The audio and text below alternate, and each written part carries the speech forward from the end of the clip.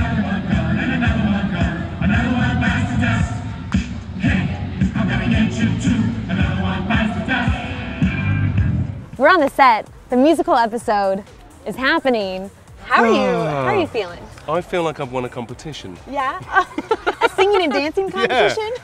I was like, please, can I one day sing and dance in something that's really great? I'm having a time of my life. Yeah? I cannot wait for people to see this episode.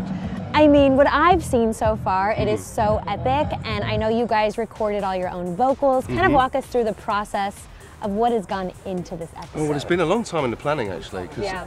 it, it's been muted around since we've done like we've done a lot of music in the show. We did some dancing in the show last season, and people are like, "Are you ever going to do a musical episode?" We always wanted to find a way to do it where it wasn't just, "Oh, we're doing a musical episode." There needed to be a reason for the music and the dancing to happen.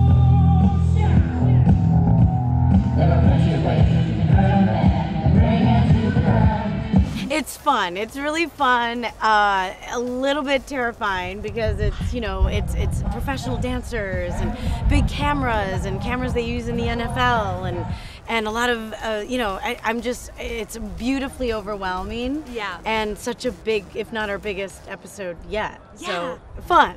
I know I'm surrounded by professional dancers. I know it's like the closest I'm going to have to a Beyonce moment. So I want to make sure to get those steps ingrained Yeah. so that I don't even have to think about it and I could like, you know, give the camera a little sass and a little Ariana Grande hair whip. Pony, I mean, this pony is Yeah. so cute. Yeah. Yeah, it's Kaylee, our, our hair sensei, was like, you got to go Ariana Grande. You have to. Ain't no sound but the sound of his feet. Machine guns ready to go. How has the dancing and the singing been for you? Great. yeah. Moving on. Yeah, no, no, no. Has no. it been hard or?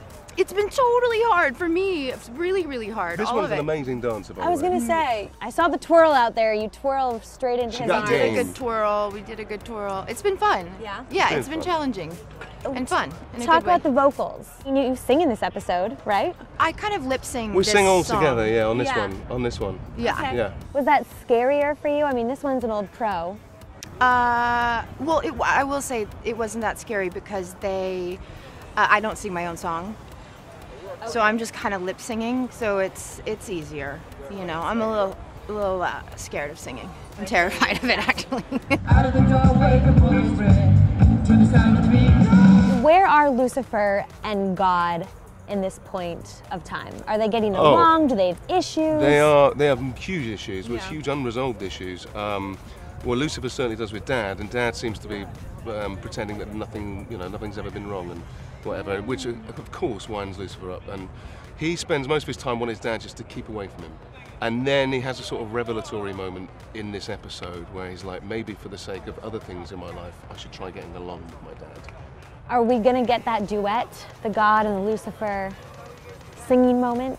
Uh, you might do. How does having God sort of shake things up in general? Oh my gosh. Well, his presence has been looming for five years. Yeah. I mean, he has been such an instrumental force of nature on our show, and fans every year ask, Is God coming? Is God coming? Is God coming? Because Lucifer has all these daddy issues. Yeah. So even though we've never met him, you definitely feel like his presence is is there. And so you finally meet the guy who is making the devil insecure for the first time ever. Yeah. So, um, so what's so beautiful about his intro is that it's a very relatable one. So not no one can relate to being the devil. No one can relate to, you know, having wings. Yeah. But everyone can relate to having that one person. You could be a total boss. You could be, you know, Oprah, Beyonce, and there's that one person that you just you want their acceptance. Yeah. And for Lucifer is God. Are you ready? Hey, are you ready for this? Are you hanging on the edge of your seat? Do you have scenes with God? Not yet. So God is finally introduced, and he's introduced as a father when the brothers are fighting, Lucifer and Amenadiel. He's like, guys, you know I like it when you, yeah, I don't like it when you fight. So that's really That's fun. why God gets involved in the first place. I don't know. I think he just, yeah, he's a dad. He's Okay. got to come look at his kids. Yeah. So what's really fun about their first time, it's the episode where God, for the first time, becomes human. So it's really fun because I'm in a scene where he experiences having to pee for the first time, having a brain freeze from a Slurpee for the first time, And so the first time I see him, he's like, "This is my dad." I'm like, "Oh my god." And he's like, "Thank you for your support." And I'm like, "Huh?" But it's really fun to see God because he's been so far removed from being human. He's Uh-huh. so divine and so evolved that when he goes into human form again, he's like, "What is this full bladder situation?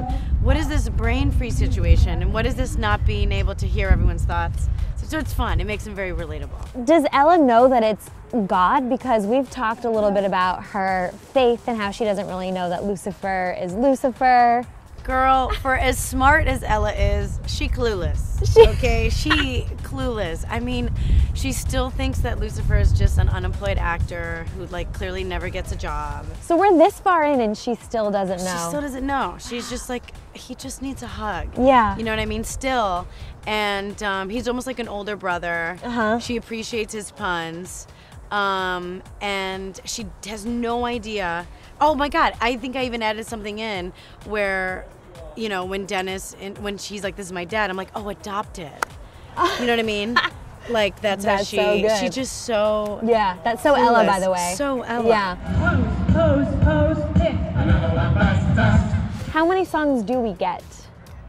I think there's like eight numbers. That's a it's big deal, Epic. yeah. Well, yeah, it's it's a lot, and it's a lot to, to shoot on the same schedule that we shoot Right. on anyway.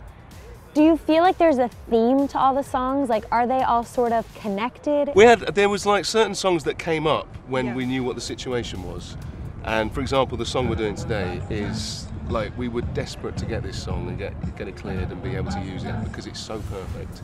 Um, and we did. That's the main thing. Like we, we started this going, oh, we, these are the songs we want to do, and we probably won't get this, and we probably won't get that one. So we'll have a backup. We got all the songs we wanted, I mean, from what I've heard, I only know with about lyric three changes of as well. Lyric changes? Occasionally. Like what? Oh, I can't. uh, No, you're oh, no. You won't tell us any? In the first song that Lucifer sings, he drops a very important lyric from the original song in order to, Okay. for this song to be personal for him.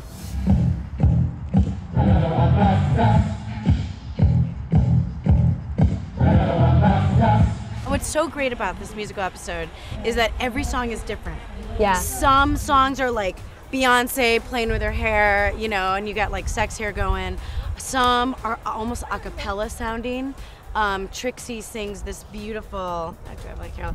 Trixie sings this beautiful, beautiful, um, almost like thank you. This like a cappella sounding song that is just so tender it breaks your heart. Uh, Tom, I think, does his best singing he's ever done. Wow. He was so nervous about it, and he crushes it. Um, he has a duet, you know, with Dennis.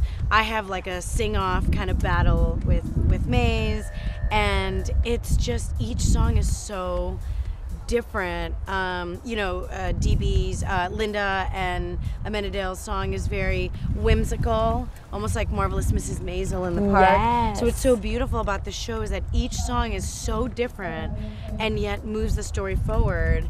And you get to see our characters in a way that you've never seen. You said it moves it forward. Do you think it's a pivotal episode? I do. I do. I mean, there's Decker Star moments. There's realization moments. There's, it's it's really good, you guys. It's it's funny because you think musical episode and you think light and playful. Yeah. But at the table read, we're in it. We're behind the curtain, and at the table read, we stopped, and then it was silent when we ended, and it was really emotional. So it's one of those things that I think singing is such a vulnerable thing to do. Yeah. So you're seeing these characters almost subconscious. You're seeing them raw. You're seeing them without their mask, Yeah. which I think we've never really done in a show. Everyone kind of, I mean, Ella's pretty transparent, but you're seeing her most vulnerable thing and her Achilles heel, which is Bad Boys. So what's so great about this episode is that every musical number shows someone's really vulnerable side. Like even Chloe and and Lucifer, you, they haven't danced together since the prom episode. Fans are gonna go nuts, like for their Decker Star moment, to see Lauren spin into Tom and and and and have this. I mean, we even that. I think that's what they really want to do. But you know, when you really like a guy, you're like, hey, so yeah, that'd be cool if you come over, but whatever, no big deal. You know what I mean? No one mm-hmm. really is so transparent. So this episode shows us at our most raw, vulnerable, and we were freaking out. Okay, we were going into the studio and everyone's shaking. And there's a good reason to break into song. It's because God's going a little schizo. So And he's kind of playing Puppet. Master? He is. He is. He's playing puppet master, and he's getting he's getting old, so stuff's getting a little janky. When I first talked to you, you mentioned that the love, the romance for Ella gets a little complicated this Yes, season. yes, yes. Where is she at right now? Is there a love interest? There is a love interest, and this is probably one of, if not Ella's darkest moments. And our producer, when he he wrote the episode, um, Chris Rafferty, who's a really talented writer, he watched the show and he's like, "We've never gone this dark on the show." I'm like, "Wait a second, you're telling me that one of the darkest moments of five years of the show Is- is Ella?" How do you think fans are going to feel when they watch this episode? I hope that Well, they the- love it. Yeah, and I would say the people that love musical theater and musicals are going to absolutely adore it. Yeah. You know? It's been. I mean, it's it's nice because there are lots of fun numbers in this in it, but there's also a couple of really heartfelt numbers that are like proper tearjerkers. Like emotional moments? In what way? Ju- Well, uh, in the state that our characters are in, you know, when the song comes up, and and then what the words of the song mean to that character, um, we try to find you know some connection rather than just being random songs. Can I brag about you for a second without giving anything away? Go on, Nan. So Tom, if you must. so Tom, Don't. Yeah, go. Tom's in a difficult place. Lucifer's in a difficult place, and Tom uh, goes into song, and he played it for me yesterday or the day before, and I was in my trailer just, you know, crying at how beautiful the recording is, and knowing the moment within the story. And it just brought tears to my eyes. I mean, it's absolutely touching and gorgeous. Um, sang so well with the correct kind of, you know, you can feel what he's feeling through your singing, and it's it's gorgeous. Aw. It's beautiful. Thanks, honey. How do you feel hearing that? Uh, you know. No, I'm. I'm. It, I, I'm. I'm not going to lie. I'm super proud of this whole episode actually, and the way everything's Yeah. turned out. But I've, it, this particular song is something that I've wanted to do on the show for a while, It's really and we so needed good. to find the right moment, and this is totally the right moment. And um, I'm just delighted with how it's turned out. Do you feel like because of the songs that we see a more vulnerable side to the characters in a way? I think. I mean, I would say that definitely with Lucifer for sure. You know, because music is is a way into people's soul a little bit. Yep. and music is you know in Lucifer's soul and you know that's why I love that episode with Father Frank in season one because it's like these two poles apart characters and they bond over music Yeah. and it's an unspoken language and I think yeah it does it taps into parts of Lucifer that maybe just the spoken word doesn't Yeah. You mentioned your favorite part of the episode is the opening. What is your favorite part of the episode? Well, actually, I don't love uh, singing and dancing, but we shot something today that ended up being. Oh no. Oh I know the moment I think yeah, yeah. We shot something today that ended up being very spontaneous, but yet also very fun and ridiculous and silly. But the thing that I think people might like, they might, they may hate it. But if they like it, I think it's something that you never imagine Chloe doing. So I think.